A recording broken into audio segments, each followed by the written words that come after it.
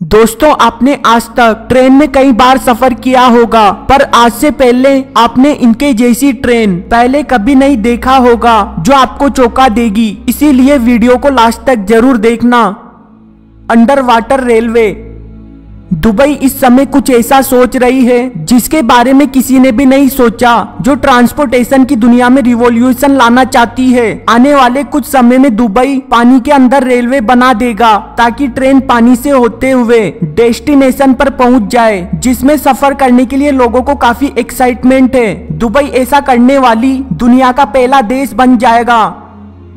सोनन monorail ये technology का बेहतरीन उदाहरण है, जो ट्रैक के ऊपर नहीं, बल्कि ट्रैक के नीचे चलती है, जो दिखने में काफ़ी खूबसूरत नज़ारा है। इसके ट्रैक को इस तरह से डिज़ाइन किया गया है जिससे आप इस ट्रेन को किसी भी पतली गलियों, पहाड़ों या फिर ऐसी जगह तक ले जा सकते हो, जहाँ नॉर्मल ट्रेन नहीं जा सकती। इस ट्रेन में सफ़र करना एक अलग एहसास देता है।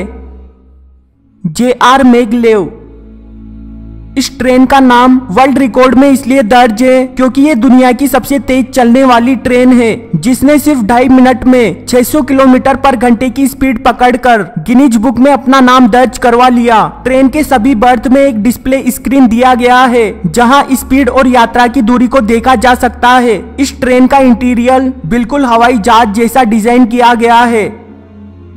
द घान ये ऑस्ट्रेलिया की सबसे लंबी पैसेंजर ट्रेन है, जिसे 2004 में बनाया गया, जो अमीर लोगों के लिए ही बनाई गई है। ये किसी होटल रूम से कम नहीं लगती। इस ट्रेन की लंबाई एक हज़ार छियानवे मीटर है। जब भी ये ट्रेन किसी फाटक से होकर गुजरती है तो वहाँ खड़े लोगों को लगभग 20 मिनट तक वेट करना होता है। ये ट्रेन चौवन घंटे में 2090 किलोमीटर ट्रेवल करती है।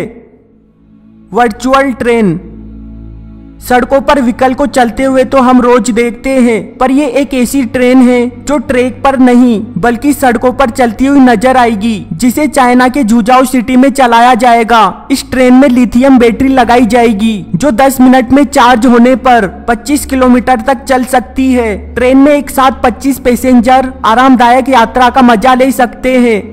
दोस्तों, क्या आपने कभी ट्रेन में सफ़र किया है? कमेंट बॉक्स में ज़रूर बताना और वीडियो के नीचे एक लाल बटन है, उस पर क्लिक कीजिए और सब्सक्राइब कीजिए। वीडियो देखने के लिए धन्यवाद। प्लीज़ सब्सक्राइब करना ना भूलें।